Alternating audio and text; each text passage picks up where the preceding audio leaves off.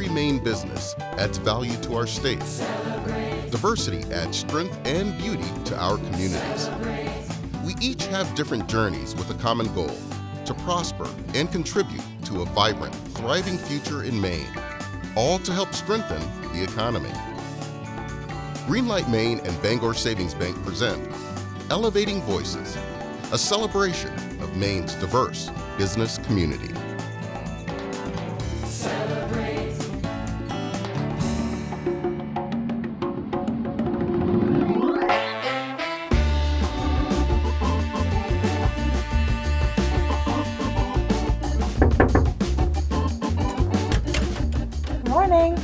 Morning. You ready? I'm ready. Let's go. All right, Lori has to show us something. Good morning, Lori. Good morning. Hi, Lori. Hi. Well, tell us, where are we? We are at the Harraseeket Inn's Casco Bay Room. This room is about 3,500 square feet. We use it for large functions. We have corporate events. We have weddings here. For weddings, people can get married outside or inside. And then we have our reception in here with uh, a variety of different food options. This is a very large room, beautiful space. Our decorating uh, changes with each wedding. And then we have great uh, air quality in here and access to the outdoors. So it's just a beautiful space. Yes, we would love to have a Greenlight Maine party here. Uh, we would love to have you come back for a party. We'd love to host that for Thank you. you. You're welcome. Where are you folks off today? So we are going to learn about fashion with Adele at the Antoine Tailor Shop in Portland and Decontie and Brown in Bangor. Well, wonderful. Sounds like you've got a busy day. I hope you have a very wonderful day. Thank you, you too. It's the spirit of New Englanders that inspires all of us to do more. It's in our employees, our customers, and our communities. Every day we do more because at Bangor Savings Bank, we truly believe you matter more. Whether you're cutting edge or looking at a traditional industry in a whole new way, if you want to innovate and if you want to grow, if you're an organization here in Maine, we want to support you. We're the Maine Technology Institute. At Hannaford, you're not just shopping at a supermarket, you're buying local. Because we're buying local every week. Whether it's fresh produce from a family farm or products from local businesses, Hannaford Supermarkets, greater than groceries. It's an early morning in Portland near Monument Square in time to open at Antoine's Tailor Shop and Formal Wear. The owner is from the Democratic Republic of Congo in Africa. She's a fashion designer with amazing talent and technical skill. She's shown tremendous courage and resilience to build her life here, and she's an inspiration for others who want to pursue their dreams of opening their own business. This outstanding woman is Adele Masengo Ngoy. Tell me about your life in Congo. I had a great life in Congo. I was well, well established. I was a professor in college in fashion design, and I had a, my own business. Toy people was working for me. We, I was living in a big city in Kinshasa. In 1999, we had uh, this uh, civil war between Congo and Rwanda. They were killing people. It was so dangerous. And they were killing people who have my face, like uh, my morphologies, because uh, that's how you can be with my face, long face. They say you are just from Rwanda. All they, they were killing people. They were burning people on the street and it was no, it was very unsafe for me because I look uh, when you look at me if you don't know uh, I look like a Rwandese I look like people from East and then I was exposed to that I could be killed anytime. And then United Nations was coming to save people who have my face. Congolese who have the morphologies like a, a Rwandese or Nilotic morphologies. And that I was lucky enough to be part of that group. And uh, they took us in uh, Cameroon we stayed in refugee camp in Cameroon for eight months. And that was very, very challenging. With three young kids, my kid was every day telling me, can you bring us home? We want to go back to our house. Why we are here? They're young kids, they didn't understand. But we had to stay there for our safety because many people was killed through that war. Was very insecure. And then from the refugee camp, we they brought us, that's how we, we had all the interview to know us better as a refugee. They know our, our, our life, know where we want to live, what we want to do, our plan for the future. And they, we spend that time there on doing those interviews and living just in refugee camp. And then from there, they brought us to America. That's how I ended up to come in Portland, Maine. That must have taken a lot of courage and strength being a young mother of three. I don't know how I did that. It's just by the grace of God. I don't know how. so, what was the experience like when you got here? Wow, when I get here, it was a lot of frustration. First of all, lack of language. I didn't have no word in English. I didn't know you say hi, I don't know what you're talking about. That was my biggest frustration. And uh, land in the place with three young children yourself, you don't know the language, you don't have money, you don't know nobody. It was a big challenge. It was very, it was very hard, but I had a lot of help from uh, the community and from Catholic Charity. Mm-hmm. Catholic Charity was the agency of reinstallation for refugee, and they they taken good care of us when we arrived, even though it was so hard, but they were there for us. Tell me a little bit about the process of how you got to start your business. Being a fashion designer in my head was over. I thought like I'm never gonna do that because that time I didn't know I would be able to speak English one day. I was just like, okay, now I'm done. Forget to be a fashion designer, just be a mother raising kids. And at that time, I was trying to find uh, to to make a living. I have to find job and help my family. And uh, I was lucky enough. I found a job somewhere in my field, and I have to sit behind the machine. It was that was a challenge for me because back home I had people like 30 people was working for me, but because I I, I need to take a step back to to be just a, like everybody because I need to make money to take off my family. Mm-hmm. And I worked there for a couple years as a seamstress, and then I decided to leave. I wasn't satisfied my, with myself, and I feel think, keep thinking I can still do better. And uh, one day, uh, it was uh, a Friday, I was doing this work, the work I did, and I charged a client like a $400 for one work I was doing was alteration to a wedding gown. And uh, after that, I went downstairs to pick up my check, my weekly check, was 375 and I feel like uh, there's something wrong in my head. I just still work for $400 and then they're paying me less than what I do for one person. And that day I did like oh, four to six people. I was like, I start thinking like uh, I need to, I need to do better for myself. And from there, I start thinking uh, I need to open my own business. I found a place on somewhere on Brighton Avenue. I opened a small business there but it was challenging because I didn't know, didn't have no idea how business work in America. Mm-hmm. The only thing I have just my skill. I know very well what I have to do, but uh, beside that business part, I didn't have no idea. Mm-hmm. I opened the business anyway because I was so tired to be working for people, and then I feel like I can do myself. I did it for a couple years, but it was challenging again because it was the time when the economy was not very good in the country. Mm-hmm. I, I have to close I was lucky, again, my uh, previous job, David's Bridal, they called me, and then they promote me to be a business, uh, to be a manager in my department. That was better. All, I had all the training, how to do customer service, how to manage people, how to deal with clients, all those stuff. It put me in better position. I was now ready. Few years after working there, I was ready to open my own business. The previous owner of my business, my actual business, Antoine, mm-hmm. he was retiring, and then I was like, okay, I can't miss this, and that's how I buy the. It was my dream come true to have my own business on downtown. So tell me a little bit about the kind of work that you do and the kind of services that you provide. Uh, we do rental tuxedo. We do we sell suits. We design clothes for women, mm-hmm. like uh, anything you name it, for men and women. We do wedding gowns, special occasion, mother of the bride, mm-hmm. anything from scratch and uh, we do a lot of alteration, and I do a lot of alteration for wedding. Yeah, and my clientele is uh, every, all kinds of people, all range of people. I have uh, American, Native American. I have a lot of African from all over the world. I have every, all kinds of people coming to me. African fabric is a trend now. Many people would love to wear African, and sometimes they are not comfortable to wear the full African outfit.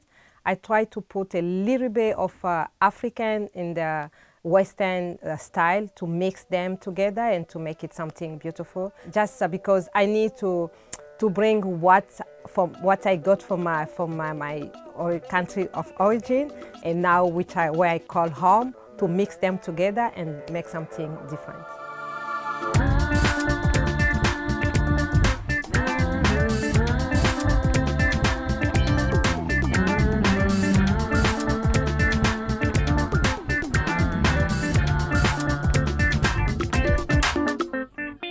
Community everywhere I go.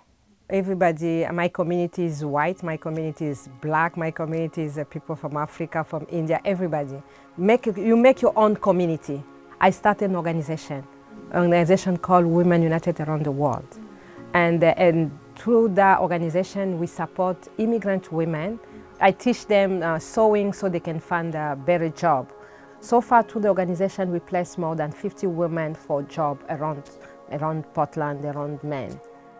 In mentorship program for the when I came, I couldn't do, I couldn't know anything except like putting needle, uh, thread in the needle. I start from paper to a small tissues, but today I'm able to do anything. Like the one I've been wearing, I did it on my own. Working with Fadela, it's something very wonderful. It's like I could never imagine one day to work with a lady or a woman like her. To me, she's like a mom, a sister, a boss, my friend, everything. She needs everything to me. And uh, I'm so proud to be in her team.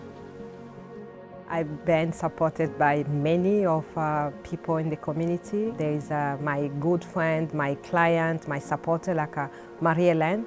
Mary Allen, the owner of Coffee by Design, she been so supportive. She wear, anytime she have big event, I have to design something for her. There have been many, many dresses that Adele has designed for me over the years, but the pink dress really has a life of its own. It was actually designed for an event, and before I went to the event, I have a henna artist I work with. The henna artist actually took a photograph of me lounging on her couch after she had done the work. And I felt the photograph had really captured the beauty of the gown and of that moment. Unbeknownst to me, the photograph was sent to Burundi by Alain Nahimana, who is the director of the Greater Portland Immigrant Welcome Center, he was at the time. He has since passed, unfortunately. Alain sent the photograph to an artist in Burundi and commissioned him to do a painting of that photograph, but really capturing the beauty of this gown, designed by a Congolese designer that I had the absolute gift of wearing and owning. I, I always, it's not me in the pink, it's the pink dress. I couldn't believe in, in the world, like uh, somebody like me coming from Congo, a black woman come and live in uh, this uh, snowy place, and, but uh, I don't regret being here. Maine is my home. I love Maine and I'm so happy to be part of this community. Running a small business here in Maine is personal. At Kennebec Savings Bank, you'll work with local people who are just as invested in your success as you are. Every one of us. Experience the difference at Kennebec Savings Bank today. Located off I-95 in Oakland, First Park is Central Maine's most connected business park. Fiber internet, three-phase power, and pre-permitted sites make it easy for entrepreneurs, innovators, and businesses to start or expand their business. Details at firstpark.com. Eaton Peabody, a Maine-based law firm serving generations of Maine businesses and families from offices in Augusta, Bangor, Brunswick, Ellsworth, and Portland. In this picturesque neighborhood, not far from the Penobscot River, we visited a home of limitless creativity. Hi, Julene. Hey, Jason. How are you? Good, how Welcome are you? to our house. Thank you. Thank you. Virtual, Virtual hug. hug, yeah. The power couple known as Decontie and Brown graciously shared their special connection. Well, we, we grew up together. We are in the same grade. We were gymnasts together. We were always, you know, really good friends and There's a picture of, um, of us when we first met at her fifth birthday party, and I don't really remember that. I do remember um, when she came, when she moved to Maine, and um, we were in first grade at Indian Island School, and I remember that morning lining up. You know, um, the nun would come out she'd ring the bell, and we'd all line up, and I remember Donna that morning. I remember what she was wearing and how her hair was cut and everything. So yeah. So, what was life like, both of you, together growing up on the island? You know, when, when we were young, we were we were very fortunate to um, to have a weekly class where they would they would take us, you know, um, for part of the day. Um, we called it they called it culture class. We called it culture class, and um, they would teach us a, a, whole variety of things. You know, beadwork, basketry, singing, dancing, how to canoe, how to trap. So all kinds of different stuff. the skills. pounding of the ash the, for basketry. Yes, I mean, we, we did that a they, lot. They taught us how to make rope out of out of cedar bark. You know, I mean, just all these really, really cool traditional skills and techniques. So is that where the whole spark began with your, um, you know, making jewelry and the basket weaving? I always tend to say, like, as Native people, we seem to we seem to be um, naturally creative and I, I don't you know know why that is you know maybe through necessity to have to you know make everything that you use you know we didn't have stores where we could just go and pick up the things that we need like we do nowadays you know um, so if we needed a certain thing we had to make it you know and a lot of things are made on the spot as you need them and I think that cultivated that creativity and that um, the ability to use your hands to create all the different things that you need um, and just the, the beauty in, in, in our Wabanaki culture. When I started uh, creating the jewelry and we started working on it together and doing shows, we saw that people really connected with what we were doing. They loved the fact that it was different, um, that it was sort of outside of the box of what you might think um, Native American jewelry is supposed to be. And, and I love that. There's one thing that I don't like is to be put into a box or a silo or a category, you know, because of, of, of who I am. You know, I, I, I always happen to say that, you know, I'm a, I'm a creative who happens to be Native American. Our family and our, and our people, our community, um, what we've found is um, they're, they're very proud of, of what we do. What they really like about what we do is we take the beauty of our tradition and we reinterpret it into a modern sort of context. Be because of what we do, we feel like we're sort of unofficial representatives of our people, you know, so we always try to make sure that that we, we put our best foot forward and we present, you know, beautiful quality work um, that will tell our story and, and show the beauty of, of where we're from. Come on in this way, Julie. This is our studio. This is where we make all the jewelry. Wow, this is huge. Awesome. I spend so much time in this room. This is the hub of, of all of the jewelry making and the, the jewelry creation right here. For years, Jason worked outside of Maine at international high end jewelers. He acquired all the skills to return home and let his artistic mind flourish. Like that. And then with that mark, I can take these flush cutters and um, snip my wire right there. Then I can take that and bring it over here onto my hot plate and then I fire up the torch. I can bring that heat right there. Now this is Argentium silver, which is pure silver and germanium. It's finer than sterling silver, hypoallergenic, highly tarnish resistant, and it's stronger. It has a beautiful color like platinum. After the design work and crafting is finished, Jason and Donna spend more countless hours traveling to international exhibitions where people appreciate their unique pieces of art. You could say it's supreme jewelry fit for a supreme justice. We met Justice Ginsburg at Santa Fe Indian Market. She approached um, our booth and was looking at our work and um, and of course it was very hectic you know and lots of you know there was 10 people and everybody's like i want you know how much? And so somebody kind of leaned in and got my attention and said justice ginsburg would like to purchase this. And that just snapped me right out of like i you know my unfocusedness and that piece was uh, again it was a it was a free form Maine quartz druzy from the mountains of western Maine and um, I had done all the little sprig work around it and, and it really resonated with her so. For people at home who don't understand haute couture that's a big deal. It, it was all very natural because you know working in the jewelry industry and, and designing and creating jewelry for so many years. I mean, it, it was just one of those things where we realized women and, and men, people um, wear jewelry and they need fashion to go with that jewelry. So it just went hand in hand. So it was very natural and, and um, you know, participating in more larger uh, jewelry shows, um, being exposed to some uh, fashion shows really sparked our interest. We really started with creating our own regalia, you know, our own traditional dance clothing.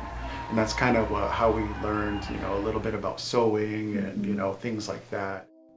It became clear that Donna's patience lends to her craftsmanship. It's in every bead she sews, every dance where she celebrates and pays tribute to her culture. So this is what you wear to a tribal dance? Yes. As you see here, we have the beaded moccasins. This is the first pair and only pair so far that I have fully beaded. Typically, our uh, moccasins are made of deer and moose hide, but I purchased a really lightweight canvas shoe and beaded onto the shoes. This took me approximately three weeks to bead. And what about this? This is part of your dress? It is, yes. So uh, our women, when, when we dance, we wear uh, what, what are called leggings, and we wear a legging under our skirts and dresses, and we adorn them. So again, I have the beadwork, um, the, the symbolic uh, trillium leaf that is, uh, trillium flower that is found within Maine, and then we have the Wabanaki uh, double curve design. And then this here is the first beaded belt I ever made. This has approximately 30,000 plus beads on it, beaded on a loom, um, and Jason embroidered uh, my initials and uh, sewed it to the satin. And then, of course, he did the uh, metal work um, to attach my belt.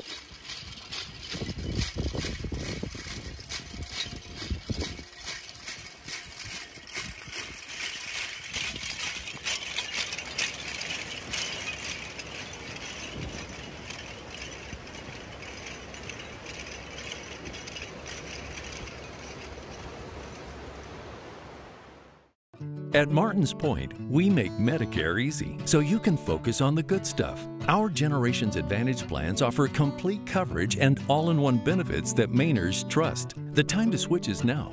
Call or visit us online today. Sutherland Weston, helping businesses start, grow, and expand in Maine, and empowering business owners to be persuasive and prepared. Smart, responsive, creative. SutherlandWeston.com. ARB's advisors are providing savvy solutions to Greenlight Maine startups, closely held businesses, and organizations that operate internationally. And we're doing it the way you'd want Mainers to, guided by our local sensible values.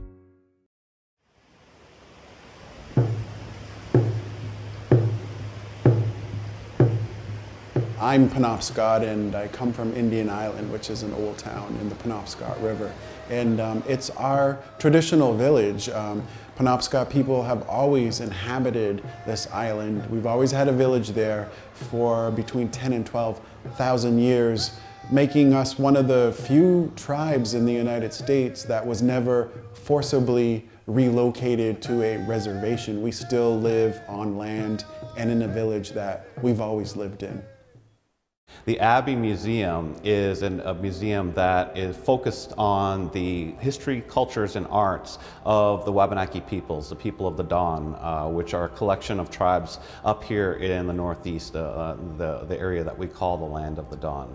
One of the things that's different is uh, with the Abbe experience, you're going to see uh, not just um, historical pieces, but you're going to be able to see the new pieces, the, uh, the, the, new art that gets created, you know, that is still based off of our ancestral knowledge, but uh, is uh, showcased in new languages.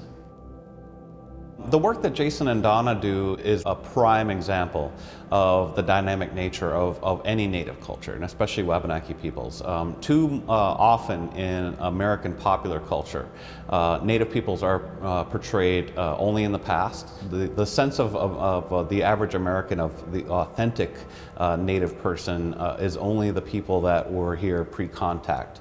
Um, and that's just a, a, a sad um, misinterpretation of uh, you know any culture which is uh, dynamic in, in any uh, you know aspect. And our uh, Wabanaki ancestors, even with the arrival of colonization, um, knew that you know uh, improved technology was something that they could take advantage of to improve their lives, uh, metal tools and things like that. And so we have a history, you know, going back even to pre-colonial days of, of trading technologies with other tribes uh, and improving our arts and cultures uh, and uh, expressions.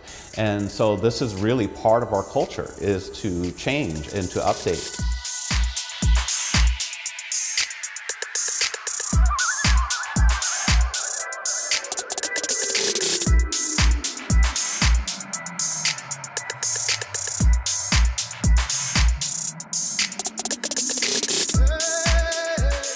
Gorgeous outfit. Who do we have here today? This is Anna, and Anna is Penobscot. She's wearing a red pantsuit outfit that we created um, with the train. The color red is significant of um, our ancestors who are called the red paint people, and they used to paint their bodies with the red ochre mineral found here in Maine.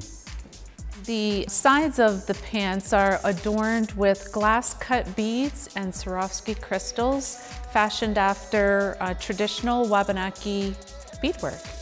Wow, this piece makes me really happy. It reminds me of one of my favorite things, the night sky. This uh, dress is covered in Swarovski crystals, which represent the star sparkling in the sky. The um, star that you see on the front is actually the Arcturus star, um, a very bright star in the northern sky, and it's overlaid with traditional Wabanaki beadwork patterns. The jacket as well is also beaded in white glass cut beads. We love the graphic uh, pattern of the black and white and it's accented with long uh, black and white uh, coordinating fringe.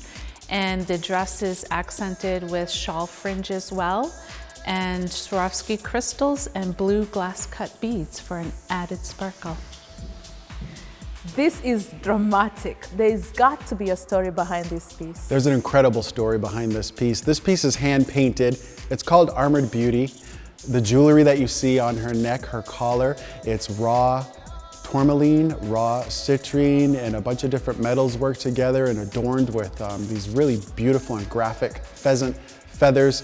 Um, there's spikes on here, there's beads. Um, again, all the painting that you see on here is done by hand. A very powerful and very uh, meaningful story that I would love for Donna to explain. Yes, this gown is a true representation of women's inner beauty, strength, confidence, and empowerment. This gown was designed to send the clear message of consent, which is why we strategically placed the spikes around various sections of the garment, including the shoulders, arms, wrists, and bodice, to really give the message forward of the importance of respecting women and consent.